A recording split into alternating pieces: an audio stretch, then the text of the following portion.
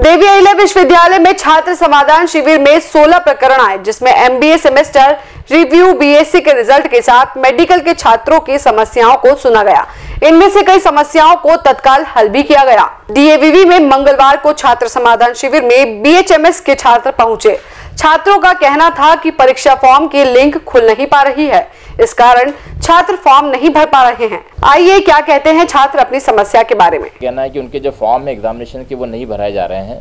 तो वो B H M student के लिए हमने बोला है कि जबलपुर में बात करें वो और उनकी लिंक ओपन करवाएँ।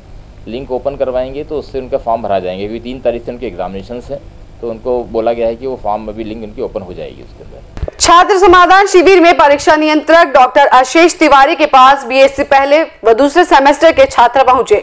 छात्रों को रिव्यू रिज़ल्ट और सैंपलिंग की शिकायतें थी। अभी तक तकरीबन 15 से 16 मामले आए हैं। उसमें मुख्यतः कुछ मेडिकल के छात्र छात्राएँ आए हैं और उनका जो रिज़ल्ट है मेडिकल को यूनिवर्सिटी में ट्रांसफ़र कर दिया गया है पूरे मेडिकल के कोर्सेज तो उसके रिज़ल्ट डिक्लेरेशन में कुछ प्रॉब्लम आ रही है। वहाँ पे जो कॉपीज वैल्यूशन हुआ है, उनका रिज़ल्ट डी ही निकालता है। तो उसके अंदर कुछ प्रॉब्लम भी आ रही है, कुछ मार्क्स की प्रॉब्लम आ रही है।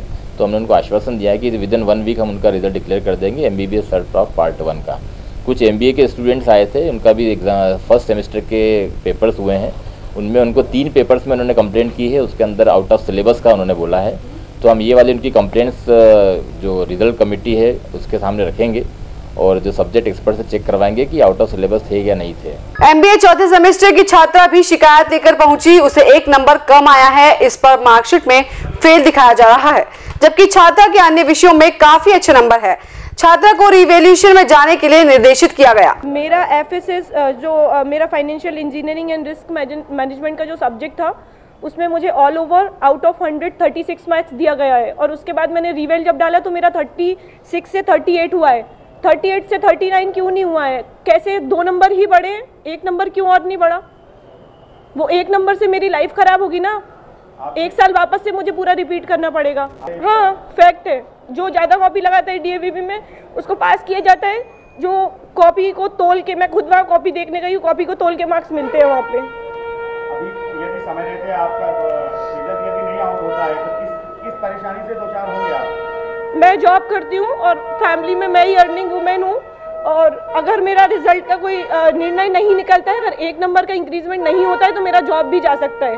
छात्रा जो थी वो M B A fourth semester की छात्रा है और उसका जो हमने रिव्यू का परिणाम अभी जारी करा है तो एक सब्जेक्ट में वो उसको जो मार्क्स अलॉट हुए हैं, उससे वो सेटिस्फाइड नहीं थी। उसका ये कहना है कि उसका कहीं प्लेसमेंट हो चुका है और कहीं जॉब कर रही है और उसको एक नंबर की ज़रूरत है पास होने के लिए।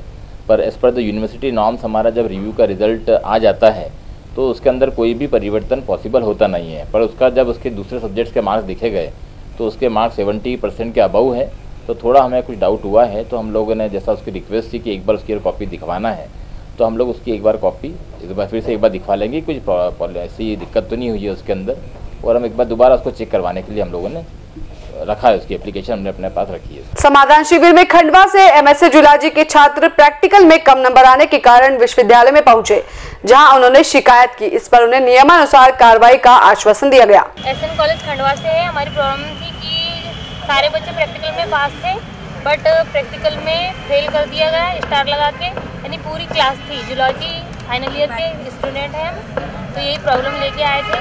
तो यहाँ पे सुनवाई हो गई है, लेकिन बोला गया है कि आठ दिन बाद आपको इसका रिज़ल्ट मिल जाएगा। वो छात्राएँ थी एमएससी की जूलॉजी सब्जेक्ट की, जो अपने रिज़ल्ट को लेके आई थी, उसमें उन छात्राओं के प्रैक्टिकल में फेल दिखाया जा रहा था। छात्राओं का संतोष था कि उनके इतने मार्क्स के साथ वो पास हैं।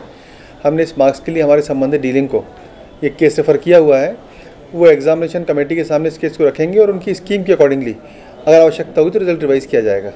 एग्जामिनेशन स्कीम हमारे जो कंप्यूटर से आती है, उसके अकॉर्डिंगली इन छात्राओं की बात अभी पूरी तरह सत्य नहीं है, इसलिए हम इसको एग्जामिनेशन कमेटी को रेफ़र कर रहे हैं कि हमारी एग्जामिनेशन की स्कीम छात्राओं की जो समस्या उसको वो नियमों के दायरे में रख के हमारी कमेटी परीक्षण कर लेगी और अगर छात्राओं का हमें लगता है तो हम रिज़ल्ट रिवाइज करके उनको नया रिज़ल्ट देंगे।